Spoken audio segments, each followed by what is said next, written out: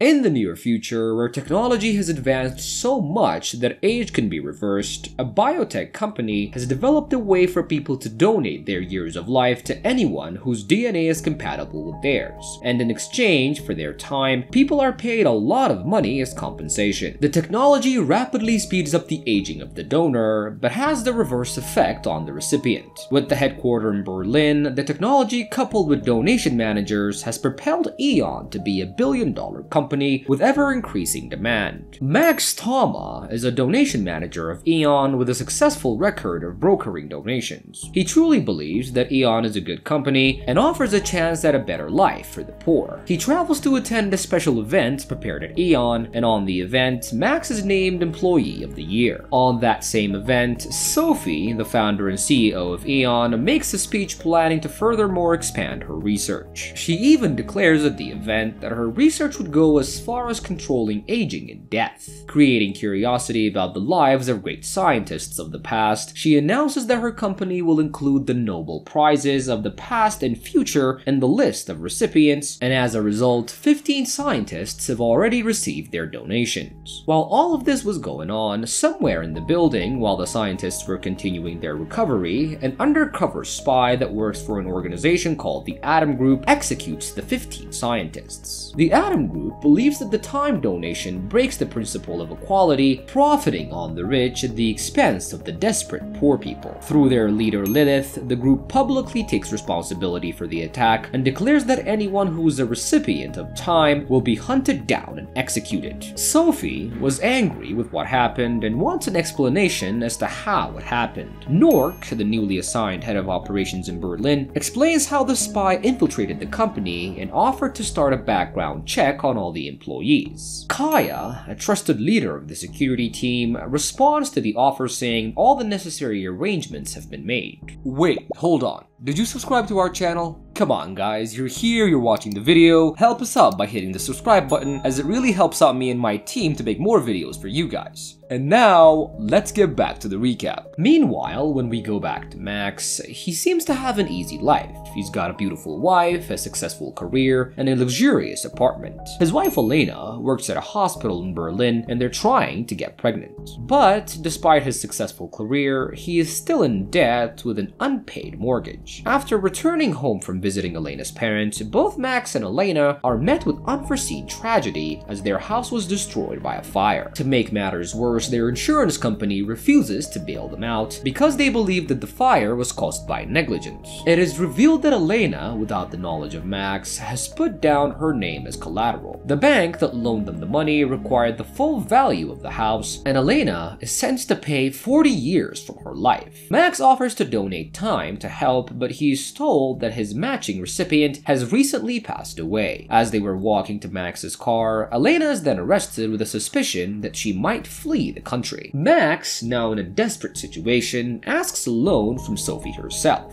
She says that she'll look into it as she is in a bind herself, and she's facing a lot of pressure from the board because of her spending on research and philanthropy. She tries to explain that the process still needs to resolve the issue of DNA compatibility, but the board members still remain unconvinced. Despite his efforts to save his wife, Max fails to come up with a solution as the help never arrived from Sophie and Elena forcibly donates 40 years of her life. Max takes his wife to a motel and Elena is devastated and broken from the process. She looks at herself in the mirror and sees the physical effect on full display. Max receives some news from Aeon and he's promoted to senior donation manager, a position with a lot of benefits. As this made no sense to him after what happened, he goes to confront Sophie, and she simply just stares at him and gets in her car as he realizes that Sophie herself was the recipient of his wife's 40 years. And after a lot of painful days, Elena was sick, and Max takes her to the hospital only to discover that she was pregnant and had a miscarriage when her donation took place. Elena, who now has given up on everything, breaks up with Max and tells him to continue to live without her, and she goes to her parents to live out the remainder of her days. After all of this, Max was now alone and we see him sitting at a park, and he's met with an opportunity to get back the years of his wife. He makes an appointment with an illegal clinic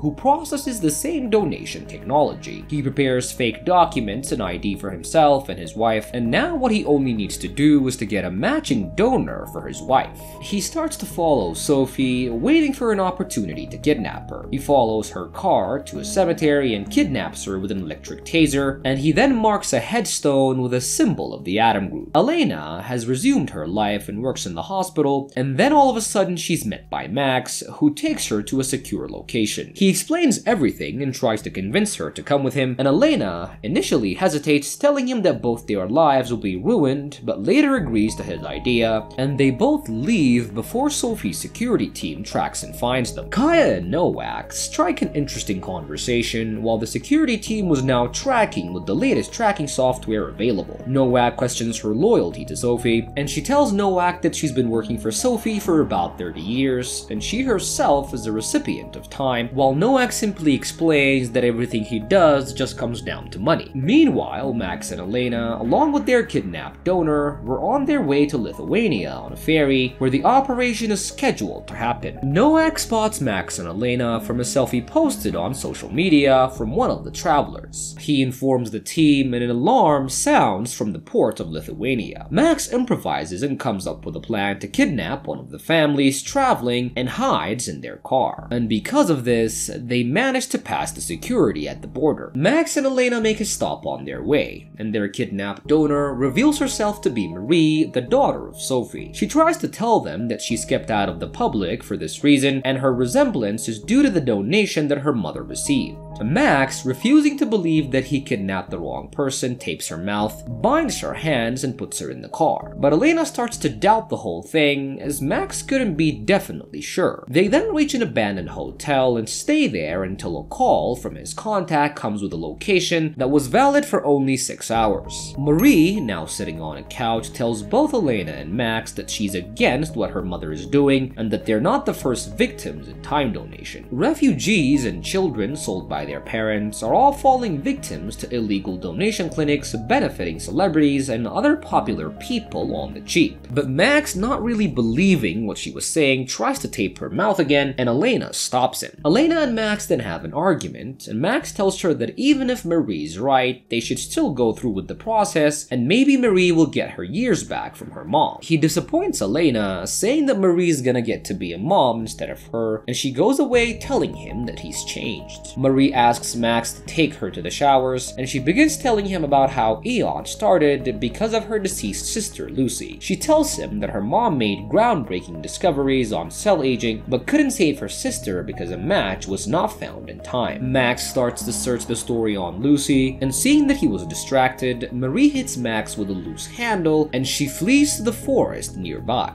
Marie couldn't go far on foot, and she falls into a swamp and starts to drown. But Elena was there to rescue her from drowning, and she tells Max that she still thinks that Marie is not Sophie, and that she's afraid that they got the wrong person. Max then continues to console Elena, and they spend the night together. And meanwhile, Kaya and Nowak have located Max and Elena by tracking their burner phone. It is seen that further reinforcements were coming, even though Nowak was against the idea of having too many forces just for two fugitives. Meanwhile, back at the hotel, Max and Elena are suddenly awakened and captured by the Atom Group. They hold them at gunpoint and take them away to a secret location. Lilith, who had a plan for all of them, begins to reveal the truth about Sophie, Max, and Elena. Sophie already knew back then that Elena was the only possible match for her donation, and Max was supposed to be just a donation manager to Elena. But they fell in love and got married, destroying the chance for Sophie to receive the time that she very much so wanted. So Sophie was the one who orchestrated the entire plan, including the bank that refused the loans until Elena had put her name as collateral. She was also responsible for the apartment that was destroyed by the fire, and she also had Max's recipient killed to prevent him from donating some years, as she wanted to be the one to receive the years from his wife. After telling them all of this, Lilith tells Sam that she's going to use them as bait to lure Sophie into a trap and capture her alive. Max had no chance but to comply with Lilith's demand, as her team was holding Elena and Marie hostage. Kaya and Nowak, along with a lot lot of armed men reached the place where Marie, Max, and Elena were held captive by the Atom Group. Max demands that he must speak with Sophie, and he tells them that the only way he would let Marie go is if Sophie comes inside with him. All seemed to be well on the way until Kaya asked how he knew Sophie would accompany them, and he didn't really know what to say, and she realizes that it was a trap. And it turns out that Nowak worked for the Atom Group all along. He shoots Sophie in the back, as it was a second part of the plan that if the Atom Group couldn't get Sophie alive, then they would end up killing her. Kaya immediately shoots Nowak, and bullets were flying everywhere. Sophie's team eventually defeats the Atom Group, killing Lilith in the process, and meanwhile, Max and Elena manage to escape the fight, also capturing Marie in the process. Max, filled with a guilty conscience, asks Elena, who was driving, not to punish Marie for her mother's mistakes. But Elena, after hearing all of what Lilith had to say, has decided to make the family pay for what they did to her and her child. Max tells her that he can't continue like this, and suddenly, Elena takes a knife out and threatens to kill herself unless Max gets out of the car. Scared by what his wife was about to do, he complies and she drives off without him. She arrives at the illegal clinic and performs the procedure and takes the 40 years back from Marie. After finishing the process, she sees all the illegal work that the clinic was performing on immigrants and children, and she decides to leave the place as fast as she can. Max reaches a refugee camp, and Marie is then found walking alone on the road. And apparently, after all of this madness, Sophie was alive and well. Apparently, she wore a bulletproof jacket, and Kaya quits her job as the security leader for Aeon. Marie rapidly ages and asks her mom for help, but Sophie refuses to donate the 40 years to her daughter, and Marie is left to face the consequences of this ordeal. After some time had passed, Max sees Elena pregnant and kissing another man. As the movie was ending, it shows Max leaving with members of the Atom Group, meaning that he's joined the fight against time donation at Aeon as he's now realized the danger of the technology.